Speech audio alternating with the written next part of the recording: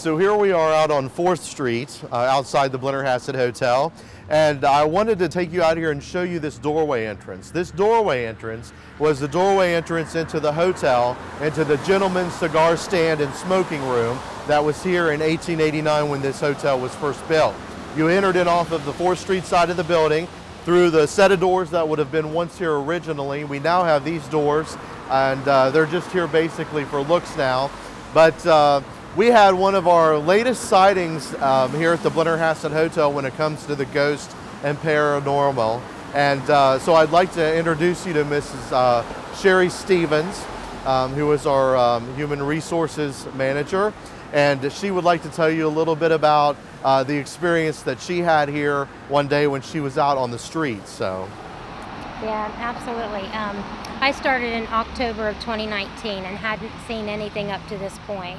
So about three and a half months ago, um, my office is across the street. So you can only imagine how many times I walked back and forth across the street. Um, a particular day, um, it was mid-afternoon, um, I was walking down the sidewalk across the street and my car was parked right there and something flashed and it made me look in this direction. So I stopped for a second and I seen a woman looking right at me in this window. Of course, I'm like freaking out, but I've seen it again and it's a woman that um, the face is white it's like shadowy but like no expression whatsoever just a dead look on her face.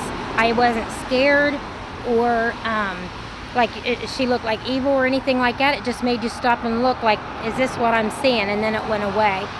She had red hair bright red hair and a light blue dress on and it you could tell she was not from this area or from this time because her dress had the frilly around the neck and a, um, like a, a, brooch or something right here. And I asked Adam, what was this door? And he said it was a gentleman's club. So I, I don't know, but I've seen it twice around this. It was the same week time frame, and I haven't seen it since. But I do look at this door every day that I walk past now because it just wasn't a believer before, but it's rocked my world a little bit. Like I said, it wasn't scary or anything like that, but it was I, interesting. But hopefully she's moved on or happy or whatever. I don't know what the, how that works, but that was my experience.